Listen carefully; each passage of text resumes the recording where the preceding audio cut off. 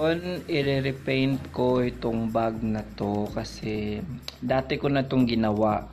Kaya lang, hindi ko agad nalagyan ng spray paint na yung sealant para hindi siya maalikabukan at para ma-preserve yung paint. So, ang nangyari, nagkaroon siya ng mga alikabok, may mga buhok ng pusa ko na hindi ko na matanggal-tanggal kasi dumikit na sa paint. So, nakapag-decide ako na i-repaint ko siya ulit. So, ito ang ginagawa ko dito ay uh, naglagay lang ako ng base color para sa uh, skin niya which is burn sienna. Nilagyan, ni-mix ko lang siya sa white. Yan, and then ikinover ko lang yung buong katawan niya. Naglagay lang ako ng mga iba't ibang shades. Uh, yung may dark, may light. So, hindi ko masyadong kinuntor yung katawan. So, parang hindi naman kasi uh, realistic painting yung ginawa ko dito. Uh, kinover up ko lang yung mga yung katawan ng uh, ng babae.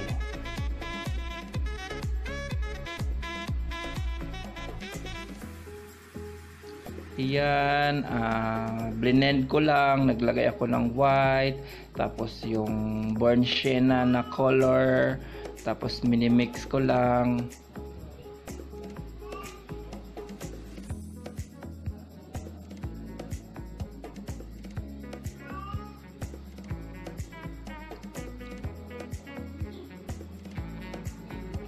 Yung bandang uh, mata, kinontour ko lang nilagyan ko ng dark color yan.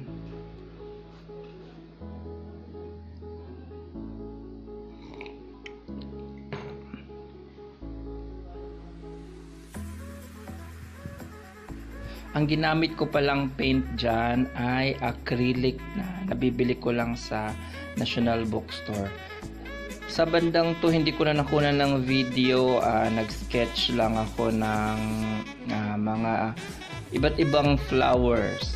Then ang nilagay ko uh, ang plan ko kasi nito uh, mag all red lang ako ng mga bulaklak. So ang ginawa ko yung red lang tapos yung pinaka highlights ko nilagyan ko lang ng white blended ko lang habang basa pa yung uh, kulay red na paint And then para naman dun sa mga dark parts na mga shadows, uh, minix ko lang yung red and black. Yan. Continue ko lang siya. Una ko nilagay yung red and then sa pinakadulo ng petals nilagyan ko ng white tapos blend ko lang then din sa pinakaumpisa ng petals nilag nilagay ko yung uh, mixture ng red and may konting black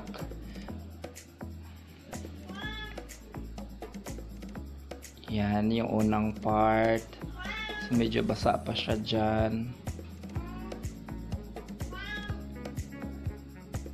And dito naman, nag-mix lang ako sa part na to uh, ng red and sobrang konting orange lang. Ganun pa rin yung process ko dito. Nilagyan ko ng uh, white acrylic paint yung dulo while basa pa yung pinakauna kong nilagay na paint.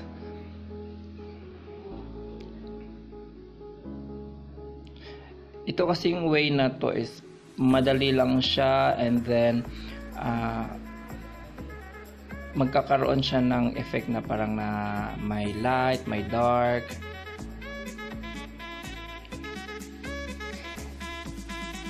Ganun din yung ginawa ko sa bandang lips niya. Uh, una kong nilagay is yung red and then nilagyan ko ng white. Tapos blend ko lang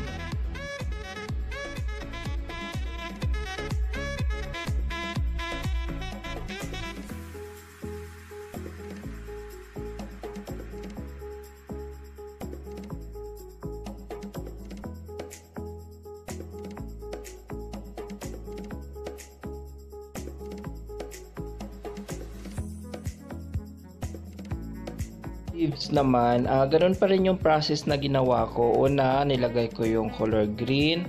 And then, sa dulo ng dahon, nilagay ko yung color white. Blend ko.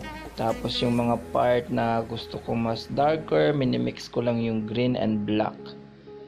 Tapos may iba mga part dito na pagkatuyo na ng paint, ah, binabalikan ko siya kasi medyo nag-iiba yung color niya, need ng retouch, mas kung gusto mo mas brighter, yung mga dahon na sa bandang ilalim kung gusto mo darker, yan, ah, basta kung gusto mo mag-light yung dahon, lalagyan mo lang ng konting white and ang imimix mo lang siya sa green and pag darker and mimix ko lang ng konting black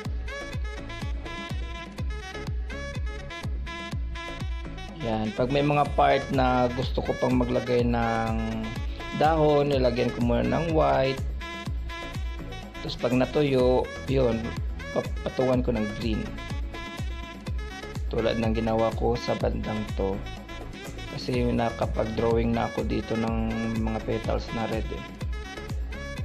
Yan, ito yung pinakamasaya na part na nag, sa, nagustuhan ko sa pag-paint ko dito and gusto ko lang mag-add ng konting textures sa aking um, uh, drawing. So, nilagyan ko lang ng freestyle na mga lines, ang mga dahon and petals. Uh, ang gamit ko lang dito ay ordinary ballpen lang. Yan sinunod ko lang kung saan papunta yung mga petals. Basta para magkaroon lang ng texture yung ano yung drawing o yung painting na hindi siya masyadong maging flat.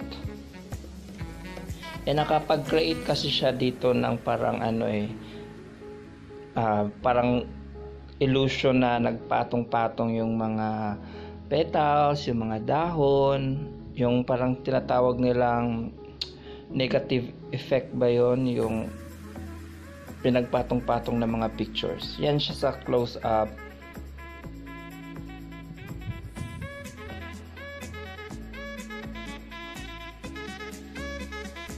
Tapos, pinuno ko lang yung buong drawing.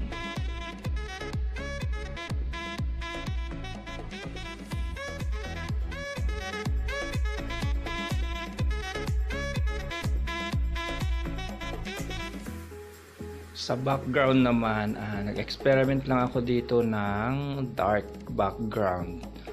Uh, nilagay ko lang mixture ng konting orange and then uh, green. So para hindi masyadong ma-overpower yung ating design. Yan, cover ko lang lahat.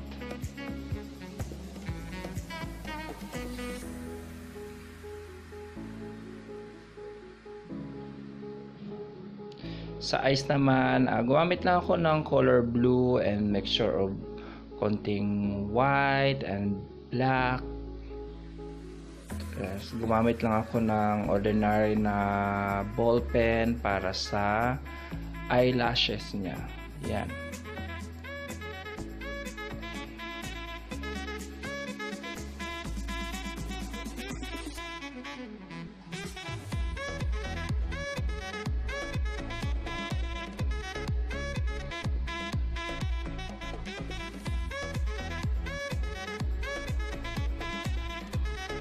So, ito yung pinakamahalaga ang pag-spray paint para masil yung design lalo na gumamit tayo ng ballpen.